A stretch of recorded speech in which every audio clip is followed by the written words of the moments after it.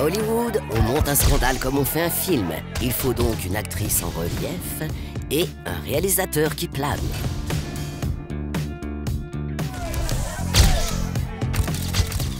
L'actrice en relief, c'est Jane Russell. Un visage d'ange et des mensurations de rêve. 90D, 61, 91 pour 1m70 de sensualité. La jeune femme sage et rangée à la ville s'essaie au mannequinat et devient très vite l'une des pin-up préférées des GI pendant la Seconde Guerre mondiale. Ses courbes affolantes éveillent le désir des hommes et la plantureuse brune provoque son destin. Comme tombé du ciel, Howard Hughes la rencontre chez le médecin et lui prescrit aussitôt un contrat de 7 ans. Hughes a trouvé le sexe symbole qu'il cherche et fait décoller sa carrière en lui offrant son premier rôle dans Le Banni. Le réalisateur qui plane, c'est Howard Hughes, inventeur, aviateur, constructeur aéronautique. Ce touche à tout de génie, réussit tout ce qu'il entreprend. Après avoir fait fortune dans l'aviation et battu des records de vitesse, il se lance dans la production cinématographique. Premier essai et premier succès, avec Les Anges de l'Enfer, suivi par le mythique Scarface de Howard Hawks. Grisé par la célébrité, Hughes attrape la folie des grandeurs. Il crie haut et fort qu'il va devenir le plus grand producteur et réalisateur de films au monde rachète la RKO, en repeint les murs avant de couler le studio. Homme d'affaires, Hughes est aussi un homme à femme. Sid Charis, John Crawford, John Fontaine, Rita Hayworth, Janet Lee et Ava Gardner feraient partie du tableau de chasse de l'aviateur immortalisé par Leonardo DiCaprio chez Scorsese. Jane Russell a toujours démonté une liaison avec Hughes, mais du banni à la Vénus des mers chaudes, c'est bien lui qui l'a façonné à l'image de ses fantasmes. Et à coup de scandale. Tourné en 1940, Le Banni est la première collaboration entre la starlette et le producteur mégalomane. Le pitch est simple.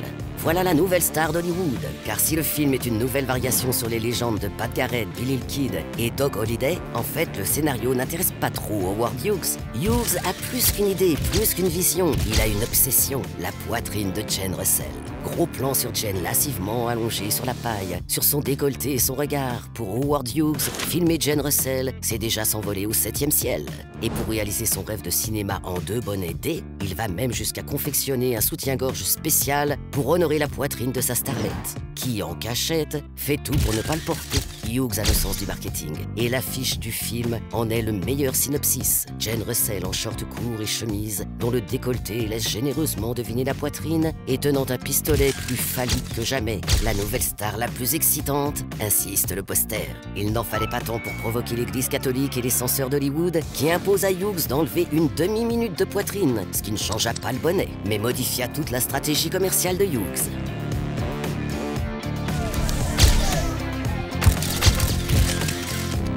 La Fox annule son contrat de distribution et le comité de censure refuse de valider la sortie du film. Alors qu'il se trouve sur le point de perdre les millions de dollars qu'il a investis, Hughes trouve une parade de génie. La censure va devenir sa meilleure publicité. Il ordonne à ses sbires d'appeler les cabinets ministériels et les ligues des femmes pour dénoncer les nombreuses atteintes à la pudeur du film qu'il va sortir. Il n'éteint pas le feu du scandale. Il l'attise et le répand pour mieux se poser en victime. Sa stratégie est payante. Un film interdit et censuré, c'est forcément sexy. Alors le banni, banni ou pas banni?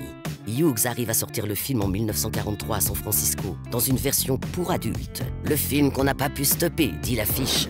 Une semaine après, les censeurs retirent le film des salles. Mais le temps aussi travaille pour Hughes. Une version plus grand public sort à New York en 1946 et la version finale dans tout le pays en 1950, devenant un grand succès commercial. À défaut de pouvoir l'avoir pour lui, Howard Hughes a fait de sa Jane Russell une star hollywoodienne. Un ange à Hollywood et un aviateur en enfer Comme Marilyn Monroe, sa partenaire et amie dans Les Hommes préfèrent les blondes, Jane Russell va connaître le succès en imposant sa sensualité à l'écran, mais sans les scandales.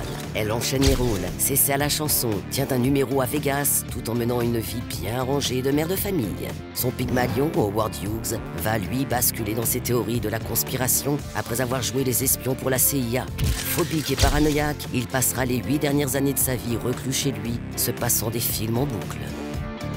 Les censeurs n'auront pas réussi à bannir le banni, mais Howard Hughes se sera banni tout seul de la société.